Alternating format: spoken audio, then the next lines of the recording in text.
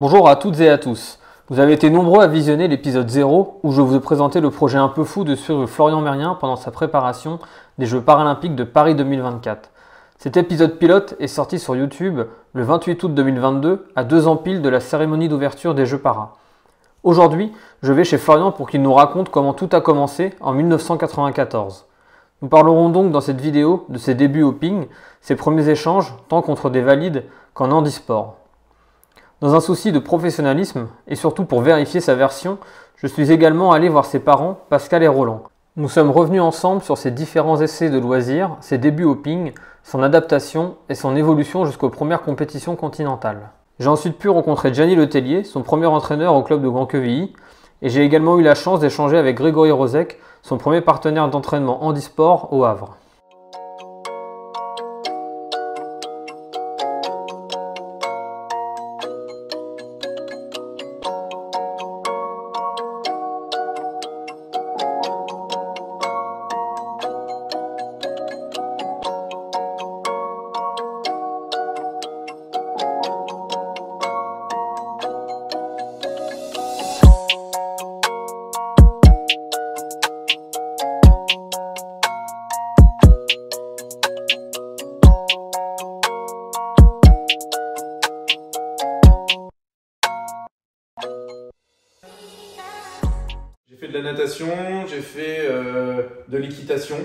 Euh, avant, de, avant de faire du tennis de table. De la Euh, Donc, euh, ouais, un petit peu aussi, un peu de plongée.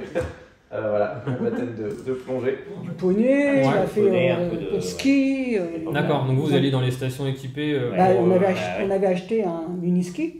Ah ok d'accord. Ah ouais, ouais, c'est quoi ouais. C'est une petite coque avec un. Voilà, et, euh, exactement. et il fait quoi? Il C'était avec des mains Voilà, ou des, des spatules. Des spatules sur les côtés? Deux spatules. D'accord. Qui, pareil, qui Mais ça, ça, lui, C'était trop compliqué. pas. Et pas. d'abdos, et puis c'était très très compliqué. Bah, La flûte au début. La flûte? Mais avec Ah ses, avec ses Mais ça a doigts. été Ah. C'était galère? Ouais, c'était galère. Après, on s'est rendu compte plus tard que vraiment lui. Enfin, on voulait qu'il touche à tout. Toi. Oui, oui, qu'il fasse comme chose, voilà, Il euh, a fait du dessin, mais il était nul. Enfin, toi, toi, tout ce qui était artistique avec ses, ses Bah, ouais. euh, Euh, lors de sa rééducation avec euh, les kinés et ils, ils utilisaient des balles de tennis de table. Et en fait, il a eu l'idée de se dire bah en fait euh, ça me plaît ces petites balles là et j'ai envie d'essayer à la table. J'ai eu un super entraîneur euh, qui Ouais. s'appelait Bob à l'époque, euh, en handisport. Il durait à peu près un an et demi en gros. D'accord. Puis après, il s'est inscrit Et il allait jouer où du coup? Au Rue des Murs-Saint-Ion. Ah d'accord. Voilà, ah bah oui, à SPTT. La salle de la C'est là où j'ai commencé, Ouais, ok. bah, voilà, il a, il a commencé là, il était mais bon, tout seul. C'est nous qui ramassions les balles. D'accord. Euh, ça m'a plutôt plu, on va dire. Euh, et donc, euh, bah, je me suis inscrit au club le plus proche de chez moi, euh, à Grand Quevilly. Oui, oui, sinon je me rappelle bien, c'est, bah, je me rappelle même de, la, de l'endroit, c'était là. Ah, donc là, je me rappelle très bien. Je m'occupais dans l'école des jeunes le mercredi après-midi et c'est là aussi que bah, j'ai vu Florian pour la première fois. D'accord. Donc Florian il arrivait avec son petit fauteuil. C'est ça, j'avais jamais entraîné un enfant euh, euh, en fauteuil, donc ça a été une grosse découverte pour moi. ni d'adulte. En fait, j'avais jamais fait de. J'avais entraîné, enfin, j'avais pas entraîné, mais j'avais déjà eu euh, via mon boulot euh, des handicapés. Mais euh, donc j'avais eu des trisomiques, j'avais eu des aveugles déjà, et j'avais eu des sourds et muets. D'accord. Mais pas du tout en tennis de table, euh, parce qu'au départ je suis kayakiste et je suis prof de kayak moi, au départ. Ah, je savais pas. Tous- Tous les ans, début d'année, en fait, euh, quand on n'avait pas les scolaires, les trois premières semaines, c'était euh, les aveugles, les sourds et muets, une semaine à chaque fois, et après, euh, ouais. Ça va être particulier, des aveugles sans un canoë. ça C'était top. c'est ce que je préférais, ouais. D'accord, ok. Très intéressant, ouais. Coup, En tennis euh, de table, ce sera un peu plus compliqué. Peut-être que j'ai mis un peu plus de temps que les autres à, à assimiler un peu la pratique en fauteuil, Ouais. euh, d'être. euh, alors voilà, euh, je sais pas si c'est euh, bon, on peut pas dire ça à cet âge-là, mais, euh, mais euh, peut-être que j'ai mis plus de temps que, que les valides à atteindre un certain niveau, D'accord. même de pratique, de taper dans la balle, parce que je pense qu'au début, euh, bah, déjà on savait pas trop comment me placer par rapport à la table. euh, On avait rehaussé aussi avec euh, son papa qui organisait bien tout ça. Donc il mettait des gros coussins pour monter un petit peu. Et déjà, c'était peut-être de voir au-dessus de la table. Parce que moi, j'ai, ouais. dans mes vagues souvenirs, euh, je voyais euh, le bout de la table euh, à travers le filet, en fait, et là par-dessus Ah, le ok, filet. ouais. Donc, euh, déjà, c'était ça. Et puis après, ouais, se rendre compte qu'il fallait, euh, c'était vraiment du bricolage. Hein. Ouais. J'étais pas très grand à l'époque et ça a pas beaucoup changé. donc. Je me souviens très bien de la première fois qu'il avait fait le système avec le tube pour pouvoir ramasser Ah les oui, balles, tu vois, par exemple, ça, c'est trop, enfin, tu vois. C'était un truc PVC avec un peu de mousse au bout. euh, Et pour voilà, pour que les- quoi. exactement. Ouais, on reste coincée dedans. Et puis ça monte, ça monte, ça monte. Ouais, Je me souviens vraiment, c'est que dès le début, euh, bah, les balles partaient, il fallait ramasser les balles, tu même pas besoin de lui dire, tu sais, t'as les enfants valides en gros, il fallait galérer pour leur dire, il y a des balles à ramasser, et lui, t'avais pas besoin de dire. hein. Il avait son petit tube, paf, paf, paf, il ramassait les balles, enfin tu vois. c'était on ramasse les balles et après on jouer. Et c'était ouais, ouais, c'était impressionnant ça, tu vois. Ouais. Et puis il y avait euh, Grégory Rozek et Michel Peters au Havre, Ouais, notamment, ouais. euh, qui m'ont euh, proposé de venir faire des essais, de venir un peu jouer. Mais je me rappelle qu'il veut que son père le portait le mercredi après-midi, je crois, pour, le- parce que, euh, pour s'entraîner avec Michel et moi de temps en temps. Mais c'était surtout avec Michel hein, au départ. Moi, j'étais là parce que, bah, comme je aussi, je m'entraînais euh, tous les jours. Mais euh, voilà, je, je me rappelle avec son petit fauteuil blanc, son petit ramasse-balles.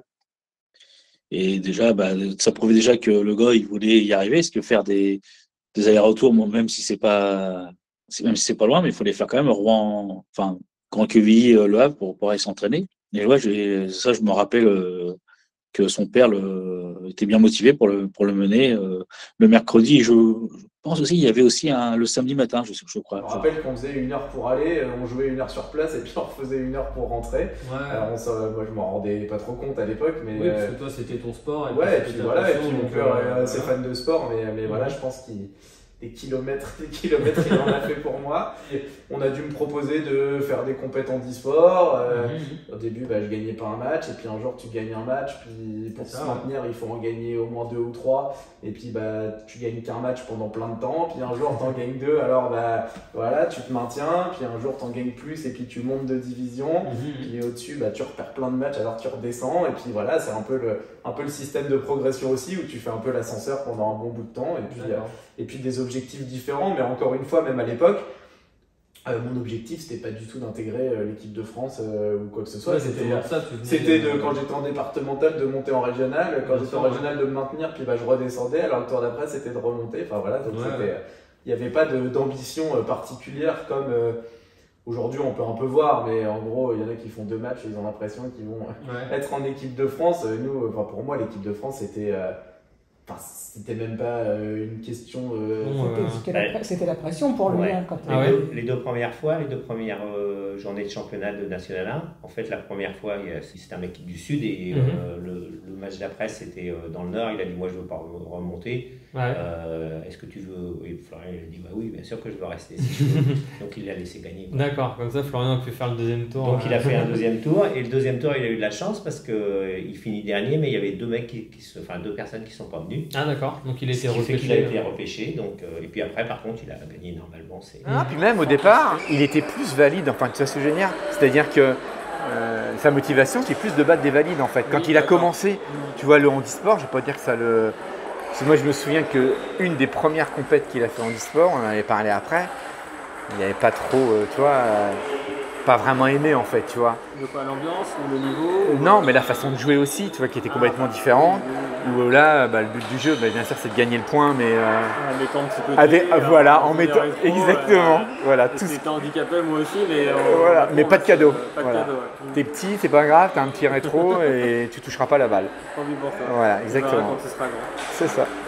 Oui, mais, bah, c'est surtout dans sa catégorie à lui que de jouer en fauteuil, c'est c'est important parce que euh, par rapport à l'handicap, faut faire les petits côtés, faut faut trouver euh, tout ce qui est un peu sortant et jouer sur le handicap. Donc en valide, on est plus sur la puissance, sur le sur le placement aussi, mais il faut aller vite. euh. mais là où Florian, il, bon, sans d'éloge pour lui, il a été impressionné, c'est que lui, il a commencé à faire des résultats aussi en handisport, parce qu'il jouait beaucoup en valide.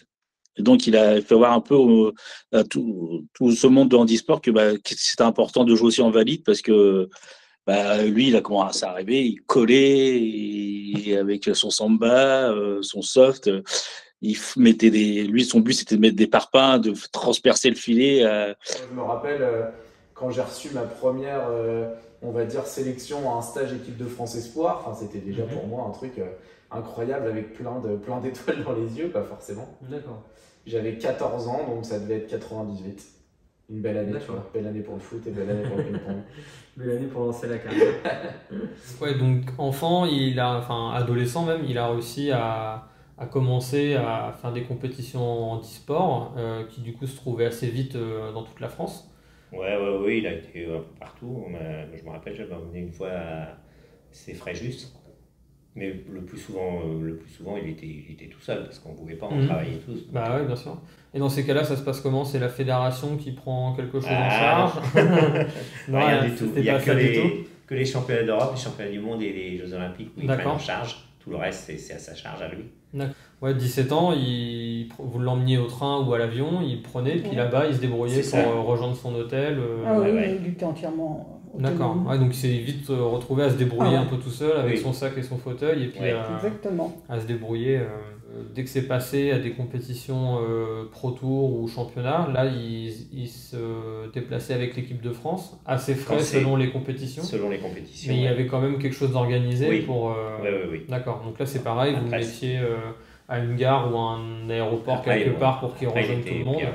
Après, il a eu son permis de conduire, donc après, il était autonome. Oui, c'est vrai. ouais. Hmm. Il, a, il a vite conduit du coup ouais. Ah oui, À oui, 20 ans, il euh, avait son permis. 20 ans, il avait son permis. On y a acheté la voiture aussitôt. euh, Ouais. puis- Ah oui, j'allais dire, parce qu'il fallait bien le passer le permis. voilà, et fallait- euh, voilà. c'est quoi C'était un examen différent ou Ah Non, non, non. non, c'était pareil. C'était C'était pareil, juste avec les commandes au volant C'était juste les commandes au volant. D'accord. Il a fait la conduite accompagnée une première fois, qu'il a tout arrêté. Il a arrêté pourquoi? Parce qu'il aimait pas Parce qu'il ou... parce qu'il aimait pas. Non, il Ouais. n'avait pas du tout envie. D'accord. C'est emmerdé de- d'aller au saut, d'apprendre surtout Bah oui, le code. Ah, La conduite, ça allait, mais le code. chiant, la pro... C'était quoi la première voiture? Une Clio. Ah ouais? Et elle était du coup euh, adaptée, euh, vous Ouais, avez trouvé l'a un fait. mécanicien ou un garage euh, ouais. On a fait adapter. Parce que ça c'est pareil, c'est assez frais.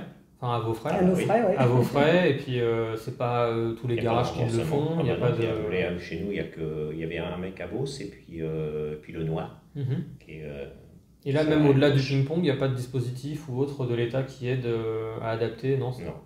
Ça existe pas. En, en handisport, encore un peu plus même, puisque nous, on considère que, euh, allez, on va dire à 25 ans, tu es encore jeune dans la pratique, Oui. puisque euh, le handicap intervient souvent, malheureusement, à la suite d'accidents de voiture, de moto, peu importe. Donc, tu vois, au-delà de 18 ans, on va dire entre 18 et 20 ans, quoi, peut-être. Plus le temps après d'être dans un centre de rééduc ou des choses comme ça, euh, ça prend quand même du temps, donc plus le temps de s'entraîner, etc. Donc, voilà, alors maintenant, de plus en plus, il y, a des- il y a des petits jeunes Oui, puisque on est, euh, ça commence à être quand même démocratisé. Il y a de plus en plus, mais même à l'étranger, de clubs handisport, etc. Donc de plus en plus jeunes, les gamins peuvent aller dans des, dans des clubs. Mhm. Euh, mais, mais à l'époque, ouais, à l'époque, c'était, euh, c'était ça. Et donc, donc voilà, maintenant, je suis encore un, un ancien, mais euh, un, un, un jeune ancien. Un jeune ou- ancien. Voilà, ou un ancien jeune. pas dans les plus vieux, ça fait longtemps que t'es là, mais t'es pas dans les plus vieux. Ah non, l'équipe. ça, voilà, ça se rapproche hein, quand même. C'est la fin de ce premier épisode sur les débuts de Florian à ses premières compétitions nationales. Dans le prochain épisode, nous vous parlerons de ses premiers championnats d'Europe et championnats du monde, avec quelques premières médailles à la clé. N'hésitez pas à mettre des pouces bleus et des commentaires, et surtout, abonnez-vous à la chaîne pour pouvoir suivre les prochains épisodes dès leur sortie. PS, on va essayer de faire un peu plus vite que deux mois entre chaque vidéo. PS2, pour les championnats du monde à Grenade dans quelques jours, je compte sur mes reporters de choc pour nous ramener les images et les impressions du champion. Allez Flo